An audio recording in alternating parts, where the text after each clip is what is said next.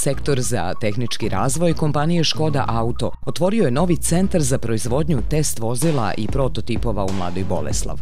Novi objekat znači da se ova posebna vozila sada mogu u potpunosti proizvoditi pod jednim krovom.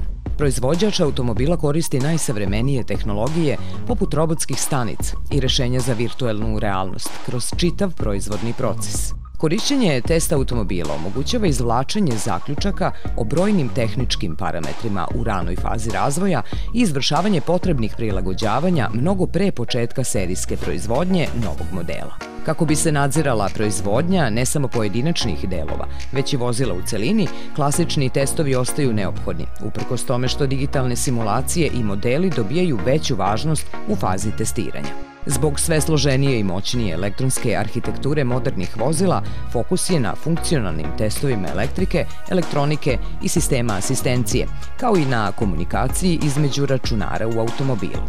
Škoda je u novom pogonu proizvela neka test vozila za električni ENIAC iV. Pogon za proizvodnju novih modela i prototipova takođe je vrlo napredan sa ekološkog stanovišta. Na kratkim udaljenostima godišnje se uštedi približno 1800 litara goriva, što omogućava smanjenje aerozagađenja za oko 5 tona. Celokupno skladište, koje je sada deo proizvodnje vozila, rezultira daljim uštedama, smanjujući logističke troškove za više od 150.000 evra godišnje.